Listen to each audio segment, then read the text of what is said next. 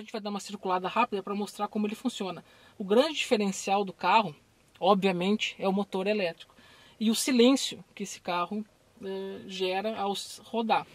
Ele é um carro normal, como qualquer outro, mas uh, um automático, um bom carro, um BMW, totalmente silencioso. Para ligar é muito simples, apertar um botão, tá ligado. Ó, não mudou nada, não tem barulho. Então é o painel que indica que o carro tá ligado. Para rodar, muito simples, acionar.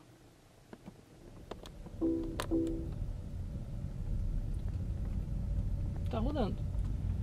Não faz barulho, só o barulho do, do atrito das, dos pneus com, a, com o calçamento.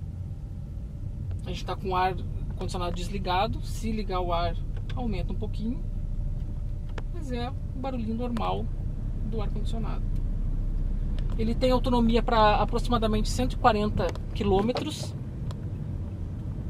Tem alguns modos de direção que alteram um pouco isso, aumenta um pouquinho, diminui um pouquinho.